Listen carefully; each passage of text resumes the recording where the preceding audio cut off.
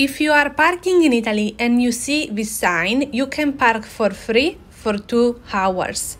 You have to use the disco orario time disc in your car, put it on the time of arrival, and then put it on the front of your car.